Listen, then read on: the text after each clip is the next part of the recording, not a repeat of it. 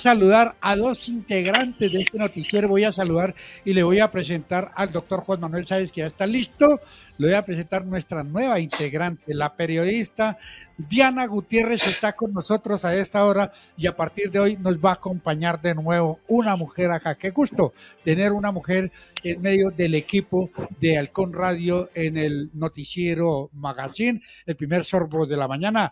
Diana, muy buenos días. Hola, muy buenos días a todos nuestros oyentes y las personas que se conectan a esta hora con nosotros y por supuesto muy buenos días a la mesa de trabajo. ¿Cómo amanecen? Muy bien. Muy bien, muy bien, Diana. Le voy a presentar a don Germán Murillo. Don Germán. Don Germán, muy buenos días. Muy buenos días, Diana. Gusto en ver una mujer aquí en el grupo de trabajo. Un placer. Eh, le voy a presentar al doctor Juan Manuel Sáenz, nuestro asesor. Está el doctor Juan Manuel Sáenz. Doctor, muy buenos días. Le presento a Diana Gutiérrez. Buenos días, Héctor, Germán, eh, a toda la, mesa de trabajo, la producción. Diana, un feliz día, un cordial saludo, gusto en conocerte. Un placer, muchísimas gracias y gracias por esa bienvenida tan chévere. Bueno, eh, le voy a presentar a Héctor Giovanni. Guamán también está listo aquí en la producción para salvar a Diana. Está escondido. Muy buenos días, Diana. Doctor también muy buenos días. Contento de tenerlos a esta hora de la mañana. Gracias, Giovanni. Mañana se la saludará justo, porque justo, justo no tiene la inteligencia artificial, está como triste. Entonces mañana le presento a Justo.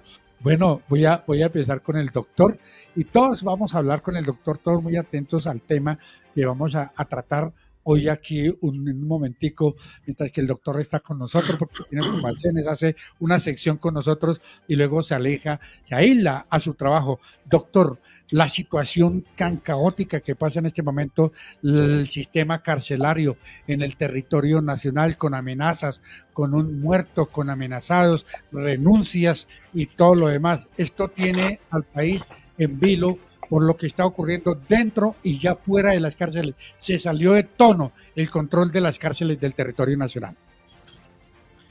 Pues Héctor, las cárceles de Colombia se salieron de tono desde hace 30 años. Eso ha sido imposible de controlar, no solamente para este gobierno distrital o nacional, sino para los anteriores. La cárcel modelo siempre ha sido un refugio de personas de bandas criminales que están por encima de la ley. No ha habido quien pueda controlar eso. Fíjese lo que le pasó a su colega Ginette hace 30 años, si no me equivoco. Eh, ella fue secuestrada y, violada en ese centro carcelario mientras hacía un cubrimiento periodístico. Mm, allí eh, no es un secreto, hace unos meses salió en la JEP hablando un exdirector de la cárcel modelo que allí desaparecían personas que no se tenía claro cuál era la población carcelaria, no se hacían eh, censos, no se tenía ni idea quién era quien ingresaba y quién salía, y fuera de eso, pues quien controla esas cárceles, particularmente la modelo, pues no es el director de, ese establecimiento carcelario, sino son los que llaman las plumas. Eso, esa cárcel me sorprende que todavía esté en pie y que no haya sido demolida desde, hace, desde sus inicios ha sido corrupta y lo seguirá siendo hasta que sea demolida y sea, eh, sea construido un nuevo centro carcelario en otro lugar con otras condiciones. Y fíjese que la, la problemática no es solamente de ese centro carcelario, sino del IMPEC. El IMPEC desde hace años no funciona, es una de las entidades más corruptas de este país que debe ser liquidada y quien debe cuidar o quien se debe encargar de la vigilancia de los centros carcelarios pues nada más y nada menos que las empresas, que las empresas de vigilancia y seguridad privada. No, no, un, no, no, no una institución como el IMPEC, no la policía, no el ejército, sino que debe ser cárceles privadas como funcionan en Estados Unidos, donde, donde prácticamente son privatizadas y las personas privadas de la libertad son las que tienen que pagar por estar allí em, custodiadas. Entonces, aquí lo que tiene que haber es una reforma penitenciaria y carcelaria de la demolición inmediata de todos esos establecimientos de comercio. Vaya usted a, Ibagué, a la Picaleña, vaya usted a, Cali o a Medellín. E, esto simplemente es, eh, eh, eh, sale a la luz pública y nos parece abominable porque asesinaron al director de la cárcel el viernes pasado. Pero esto siempre ha sido así, no, no vaya lejos a la picota, tampoco es que sea, allá se se fugó Matamba, con, ayuda del IMPEC y de la policía. Entonces, esto simplemente es otro evento criticable, abominable, pero es uno de tantos que, ya estamos cansados de escuchar y que quisiéramos una decisión contundente de este gobierno y del gobierno distrital para solucionar ese problema. A ver, usted, don Germán Murillo. Bueno, doctor, eh, ayer en una pequeña asamblea que estuvimos de la, de la Veeduría de Seguridad Ciudadana de Colombia, estuvimos también reunidos con algún, en comunicación con algunos eh, miembros del, del IMPEC eh, donde ellos nos mencionaban sobre el temor que tienen en este momento, ya que el 70% de los funcionarios o de los guardianes están amenazados, eh, están amenazados y tienen eh, en este momento temor por su vida porque en su mayoría les han llegado panfletos como el que se encontró el día viernes cuando mataron el director de, de la cárcel nacional modelo. Lo que pasa es que ellos son, debo decirlo, y todos lo sabemos, los funcionarios del IMPEC son víctimas de su propia corrupción. Son ellos quienes ingresan los celulares, las prostitutas y la droga a las cárceles. ¿Quién más? ¿Quién más? Si ustedes no recuerdan cuando estábamos en, pandemia, que, que, no había visitas y aún así ingresaban la droga, las prostitutas y, el y, y, todos los lujos que tienen en esas cárceles, pues ¿quién los ingresan?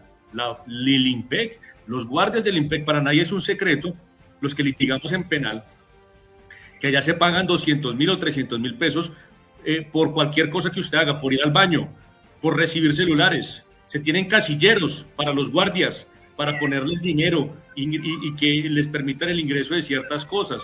Entonces, ahora que como hacen negocios torcidos con, los, con las que son criminales privados de la libertad, entonces les cobran los favores.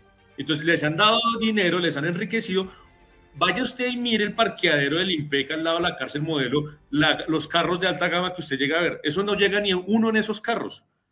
Entonces, eh, el IMPEC y los funcionarios del IMPEC, no todos, porque acá no se trata de generalizar, pero los guardias del IMPEC son los culpables y los responsables de la corrupción que viven esos centros carcelarios y ahora se asombran porque los amenazan, pues obvio porque hacen negocios con Lampa, con el crimen, no se los cumplen y entonces ahí van a hacerles responder por lo que hacen. Entonces, mis señores, yo solamente les quiero dejar esta inquietud. En la cárcel modelo hay que demolerla, hay que demolerla desde sus cimientos porque es un centro criminal donde desaparecen personas, es un centro de acopio criminal, de instrucción criminal. No debería existir la cárcel modelo. Y sí deberían existir cárceles de alta seguridad. En Colombia nosotros tenemos modelos como es la de Cómbita. Es, es una forma, es un modelo de, de, seguir. Eh, no puede decir que sea perfecto porque nada que, que haga el ser humano es perfecto, pero por lo menos funciona y funciona de una manera diferente. O sea que en Colombia sí podemos hacer cárceles. Entonces, ¿qué, ¿qué, está pasando? Aquí lo que vemos es una gran frustración y falta de planeación estratégica de entender que es que se deben construir cárceles reales. Involucramos en este diálogo a Diana Gutiérrez. A ver, Diana, eh, para que usted eh, las inquietudes que tenga acerca del tema que estamos tratando. Sí, doctor. Precisamente yo le iba a preguntar sobre el tema de los sindicatos. Hay varios sindicatos que eh, precisamente obran por el bienestar de todas las eh, las guardias del IMPEC. ¿Qué pasa con esos sindicatos? ¿También están permeados por esa corrupción? Pues es que los sindicatos, Diana, gracias por esa pregunta. Los sindicatos son, son digamos que unión de trabajadores que busca defender o garantizar o mejorar las condiciones laborales de las personas que están eh, adheridas a ese sindicato. Entonces estamos hablando de los turnos de trabajo, del salario, de la remuneración, del sistema de salud, seguramente de los refrigerios, de, muchas cosas, de seguridad, etcétera. Em, salud ocupacional. Eh, eh, en, para eso es, que la ley laboral creó permite los sindicatos y en buena hora los sindicatos existen. Yo, yo no tengo pruebas de que los sindicatos estén involucrados en ninguna situación de corrupción. Como tal, la organización sindical no existe prueba de ello, pero hay una teoría que es la teoría de las cucarachas. Cuando usted ve una cucaracha en su casa, no significa que tiene una sola cucaracha, significa que tiene un enjambre de cucarachas y que solamente está viendo una. Pero se tiene que buscar el enjambre, el nido de las cucarachas para poderlo erradicar. Entonces, si el IMPAC tiene un funcionario, un dragoniante que, es, que ingrese droga, que ingrese celulares, que ingrese prostitutas, que ingrese lujos a un centro carcelario, entonces quiere decir que hay varios. ¿Quiénes son? Pues le corresponde a las autoridades descifrarlo. Pero es que no me lo estoy yo inventando, es lo que nosotros estamos viendo. Desde el, poder que tiene un, un líder de patio, como le llaman ellos los plumas, que puede mandar a matar personas fuera de un centro carcelario, que da órdenes, que amenaza, que asesina, pues al amparo de quién? Pues del IMPEC, porque el IMPEC es el que los custodia. Entonces el IMPEC es el que ha fracasado. Serán los sindicatos quienes deberán de asumir la responsabilidad también de la corrupción de la institución que ellos representan. En una ocasión, y yo le voy a dar la, la razón al doctor, claro, porque conoce muy bien el tema y sobre todo porque conocen también muy bien eh, eh, el estado de la, de la cárcel. Y lo que dice es cierto, debe ser demolida esta cárcel. Desde hace tiempo manifestaron que la iban a demoler. En una ocasión fui a hacer un trabajo periodístico y recorrí varios patios, pero me encontré con los eh, sitios en donde habían em, mm, buscado un plan de fuga y habían como estas chambas de construcción, los túneles, los famosos túneles, y estos túneles pues no los taparon, sino los cubrieron, los taparon pero con agua entonces yo les preguntaba, ¿y por qué eh, no lo descubrieron? Yo, porque los vuelven a abrir, la tierra está es que los vuelven a abrir y entonces es muy fácil para ellos buscar la salida. Pero si están llenos de agua, es muy complicado que vayan a trabajar allí la tierra. Y, pero veíamos que eso atravesaba por varios patios. Digo, esta vaina antes no se ha caído. En, en, la situación que se encuentra esta cárcel, antes eso no se ha caído. Y estos sitios por donde abrieron estos túneles, pues em, tuvieron que ser, de, dejar de ser calabozos y todo porque tuvieron que dejarlos al aire libre para poder mirar, para poder ver y que no siguiera este tipo de hechos. Claro, ahí se calmó las ganas de salir, pero esa vaina en cualquier momento se podría caer, ¿o no, doctor? Mire, es que, es que no solamente eh, nos asombra que desde la cárcel se cometan tantos crímenes, sino que se violen los derechos humanos al interior de ese establecimiento carcelario. Pensemos solamente en el hacinamiento, en, todo el problema de salubridad que representa para las personas que están allí privadas de la libertad, que, que no pueden dormir, no pueden entrar al baño, no pueden bañarse, no, no, pueden comer de forma decente en un establecimiento carcelario porque están sometidos al imperio de la ley, al imperio de la fuerza, de la autoridad de una banda criminal en un patio. Nadie es un secreto que el que tenga cliente en la modelo tiene celular. Para nadie es un secreto. Entonces, da, da risa, da risa esas que uno dice, no sé si reírme o llorar, de, de ver cómo en Colombia la dignidad de una persona que está privada de la libertad no existe. Y así es que tenemos que medir al Estado colombiano, por la forma como vive la persona más pobre en este territorio. Y la que está despojada de todos sus derechos son las personas que están privadas de la libertad en las cárceles de Colombia. No todas. La cárcel distrital también es un ejemplo de buena gestión administrativa. Vaya a la cárcel distrital de, de hombres o de mujeres de acá de Bogotá. Es una cárcel que ha sido eh, administrada de forma decente eh, y, pulcra, pero hay desafortunadamente hay ejemplos, modelos de corrupción y de, y, de, y de violación a los derechos humanos. A mí me gustaría, Diana, que tú, eh, que eres periodista, revisaras el caso de tu colega Ginette Bedoya. Sí. Yo sé que tú lo conoces. Ginette Bedoya en el año 2000 fue violada y secuestrada en esa cárcel. ¿Y qué pasó? Han pasado 30, 24 años y no ha pasado nada. Entonces, si no se destruye esa cárcel y esos, esas personas privadas de la libertad son llevadas o trasladadas a otro centro carcelario, lo que va a pasar es peor, porque lo que dice Héctor es muy cierto, esa cárcel se llega a caer y van a matar a, se van a morir dos mil personas en un solo día.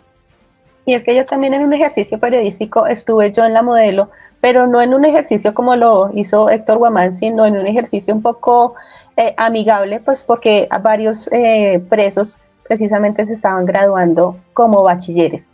Al notar, y yo al ingresar a la, a la cárcel, eh, precisamente había paredes envejecidas, las mismas barandas y bueno, estaban oxidadas, todo envejecido.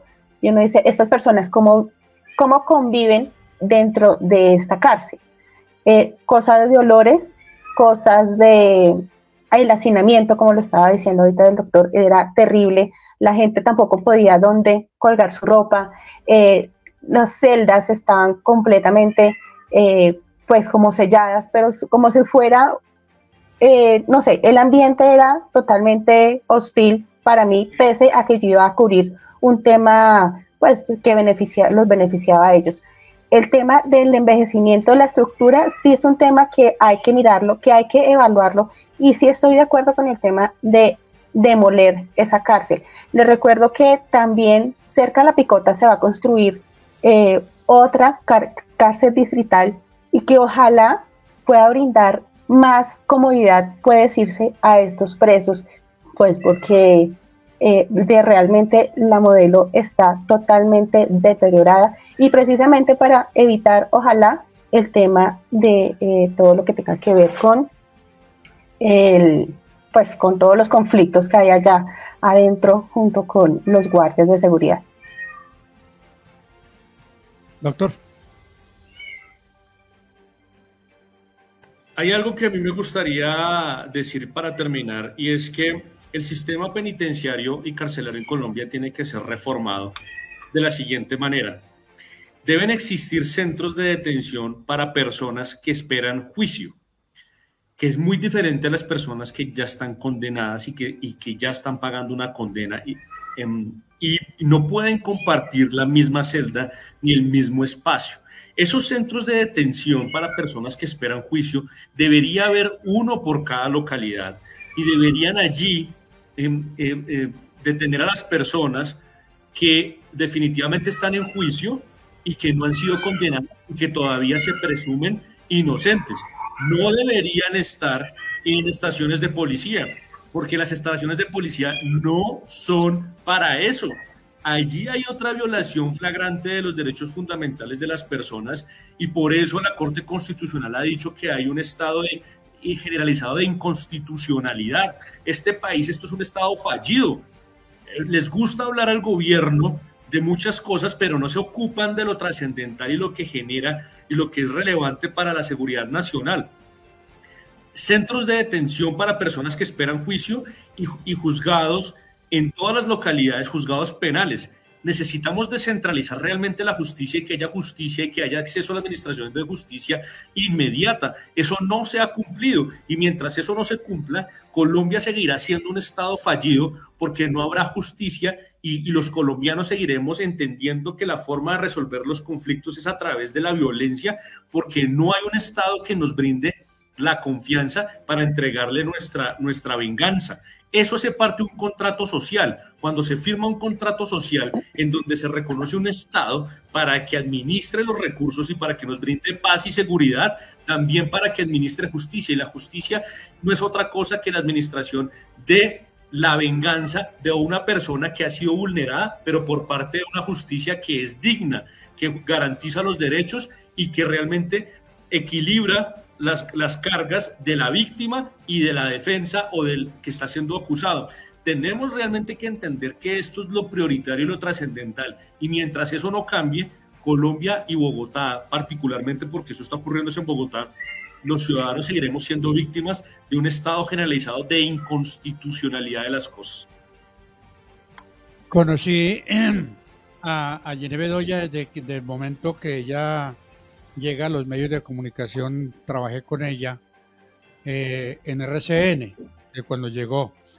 Cuando yo fui a la cárcel nacional Muelo, fui porque Ginevedo ya me invitó, siendo compañero de pupitre. Digo yo compañero de pupitre porque le, ella le correspondía al lado izquierdo en el editorio donde estábamos trabajando para Alerta Bogotá.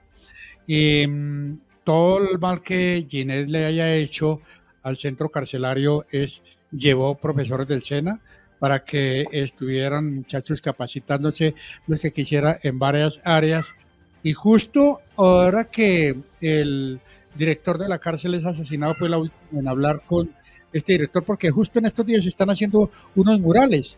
Y entonces ella llevó unos muchachos para que hicieran los murales y es cuando ocurre, pues mostraron las imágenes en los diálogos que ella tenía con, con este señor. Eh, pero Ginebra ya ha sido muy empeñada en que esta cárcel, los presos te hagan algo, que estén, estén trabajando, que no pasen sus días sin hacer nada.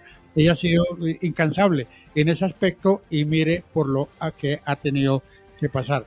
Y claro, ella es única hija, ella es única hija de, y es de madre soltera y ha sido eh, un trabajo bastante duro el que ha pasado estas dos personas, la madre e hija, a lo largo de estos años de su carrera periodística con Ginebra Bedoya con quien nos hemos solidarizado desde el primer momento que le ocurrió, porque ella se retira del lado de nosotros y se va a trabajar al diario El Espectador, ya es cuando justo le ocurre esto al llegar a este penal allí en el occidente de Bogotá. ¿Qué le iba a decir al doctor antes que se vaya? Eh, doctor, como eh, preocupante, preocupante lo, lo, que viene sucediendo en la cárcel nacional modelo, y vuelvo y le repito, nosotros como Pediduría de Seguridad Ciudadana de Colombia, eh, se le hizo una revisión técnica y la parte de infraestructura a la, a la cárcel nacional modelo, y lógico, sí, está para tumbar, no sé por qué el IPEC ya habría haber tomado, o el gobierno nacional haber tomado estas decisiones para poder haber tumbado esta parte. Y, preocupante porque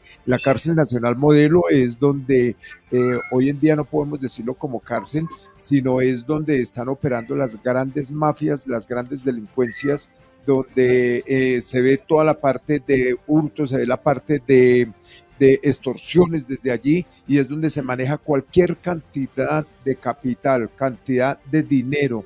Es donde se manejan a diario millones de pesos. Y en cuanto a lo de la cárcel de, que va a ser construida en La Picota, van a ser para aproximadamente dos mil personas. Y esto es como una cárcel distrital donde van a ser eh, para aquellas personas que son de menos, de menos, em, de menos mm, Peligrosidad. Eh, peligrosidad, sí señora. Entonces es preocupante, doctor.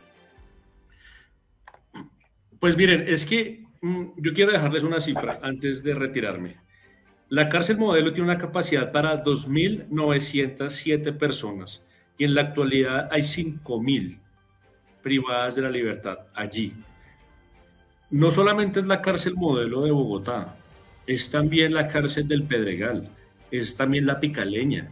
Es un, problema que está enraizado en, nuestra, nuestro sistema carcelario y hasta que no le demos dignidad y respetemos la dignidad humana de las personas que están privadas de la libertad, no vamos a avanzar como sociedad. Si seguimos utilizando esas cárceles como un instrumento de eh, formación criminal, pues en Colombia nunca va a haber paz, porque podemos desmovilizar a las FARC, podemos desmovilizar al ELN, a la SAUC, al M19, a todos los grupos armados al margen de la ley que quieran.